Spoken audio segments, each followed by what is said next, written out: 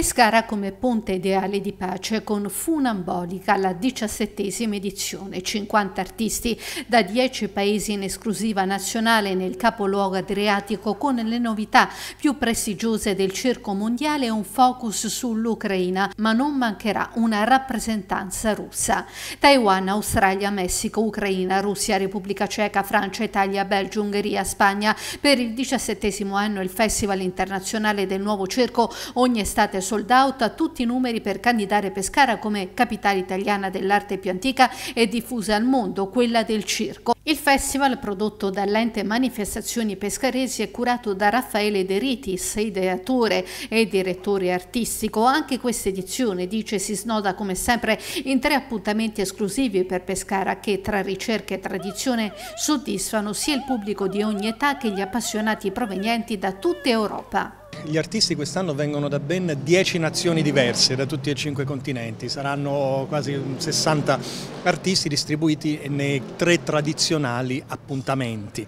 Quindi si comincia sempre con l'anteprima al porto turistico, grazie alla collaborazione fondamentale del Marina di Pescara che ci mette a disposizione i suoi luoghi, dove sarà eretto il tendone del Circo Zoe, quindi dal 12 al 18 di giugno e la loro nuova creazione si chiama Deserance, è uno spettacolo particolare, nuovissimo, che mette insieme gli acrobati con il canto lirico e la musica elettronica, quindi è molto sorprendente. Poi si proseguirà con eh, l'Ucraina. Il 4 di luglio al Teatro d'Annunzio lo spettacolo ucraino-cecoslovacco che si intitola Boom e il eh, Teatro d'Annunzio sempre il 7 e l'8 luglio ospiterà due repliche dello stesso spettacolo che è il Grand Gala du Cirque alla sua quindicesima edizione. Un evento all'insegna della rinascita dopo il Covid e della speranza per regalare un sorriso di cui tutti abbiamo bisogno. Alla conferenza stampa tra gli altri presenti anche il sindaco di Pescara Carlo Masci, gli assessori Carota e Cremonese,